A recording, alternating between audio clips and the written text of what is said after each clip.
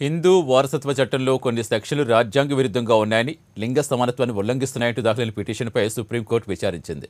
సమాజం లింగ సమానత్వం వైపు నడుస్తుందో హిందూ వారసత్వ చట్టం లింగ వివక్ష చూపుతుందో కోర్టు కలుగజేసుకోవాలని పిటిషనర్ కోరారు.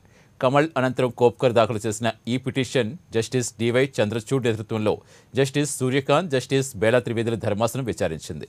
హిందూ వారసత్వ చట్టం సమాజంలో వీళ్ళూనుకున్న పితృస్వామ్య సిద్ధాంతాన్ని బలపరుస్తోందని పిటిషనర్ ఎత్తి చూపారు ఒక మహిళ తల్లిదండ్రులు బతుకున్నప్పుడే ఆమెకు వారసత్వ హక్కు కల్పించడంలో వివక్ష చూపుతున్నారని పిటిషనర్లు పేర్కొన్నారు. ఏకీకృత పౌర చట్టంపై దేశంలో విస్తృతంగా చర్చ సాగుతున్న వేళ ఈ పిటిషన్ దాఖలైంది.